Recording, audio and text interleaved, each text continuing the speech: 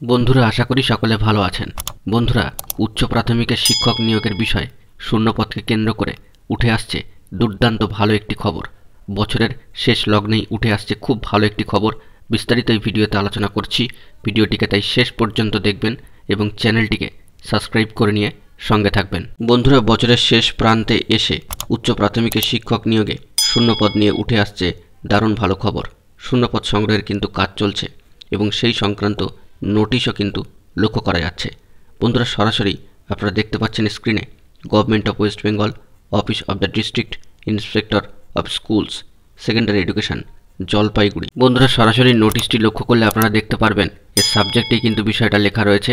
এখানে হেডমিস্ট্রেস অথবা হেডমাস্টার কিংবা টিচার ইনচার্জদের কাছ থেকে জানতে চাওয়া হচ্ছে যে আপার প্রাইমারি রিক্রুটমেন্টের ক্ষেত্রে তাদের বর্তমান স্কুলে আপার প্রাইমারি সেকশনে কত ভ্যাকেন্সি রয়েছে। সেটা কিন্তু পাঠাতে হবে। এই নোটিশ করে সেটিকে জানতে চাওয়া হচ্ছে এবং এর থেকে স্পষ্ট যে নতুন বছরেই উচ্চ প্রাথমিকের শিক্ষক নিয়োগ সংক্রান্ত বিষয় খুব ভালো খবর আসতে চলেছে। স্কুল সার্ভিস কমিশনের মাধ্যমে উচ্চ প্রাথমিকের শিক্ষক নিয়োগের ক্ষেত্রে এই শূন্যপদ সংগ্রহের জন্য কিন্তু তৎপরতা শুরু হয়ে গিয়েছে। ইতিমধ্যেই বন্ধুরা রাজ্যের প্রতিটি জেলার স্কুল পরিদর্শকগুলিকে পাঠানো নির্দেশিকায় এসএসসি জানিয়েছে যে দু হাজার আঠারো সালের পর থেকে প্রতিটি স্কুলে কত শূন্যপদ রয়েছে। স্কুলগুলিকে শিক্ষক শূন্যপদ সংক্রান্ত বিস্তারিত তথ্য এসএসসিকে জানাতে হবে। ইতিমধ্যেই শিক্ষক নিয়োগের বিষয় স্কুল শিক্ষা দপ্তর সমস্ত জেলা শিক্ষা আধিকারিকদের সঙ্গে বৈঠক করেছেন। সেই বৈঠকে স্কুল শিক্ষা দপ্তর জানিয়েছেন যে শিক্ষক শূন্য আসন কত তা জানাতে হবে।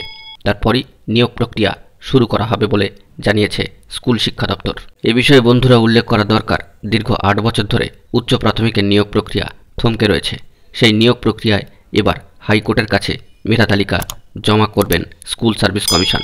জেলা ডিআইদের সঙ্গে কথা বলে জানা গিয়েছে, স্কুলের শিক্ষক নিয়োগ সংক্রান্ত কোথায় কত শূন্যপদ সেই বিষয়ে বিস্তারিত তথ্য শিক্ষকদের অনলাইনেই আপলোড করতে হয়।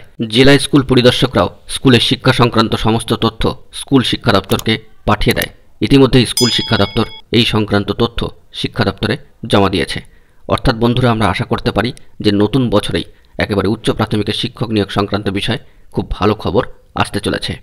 বন্ধুরা, এখন এটুকুই। সকলে ভালো থাকবেন এবং আমাদের চ্যানেলটিকে অবশ্যই সাবস্ক্রাইব করে সঙ্গে থাকবেন। ধন্যবাদ।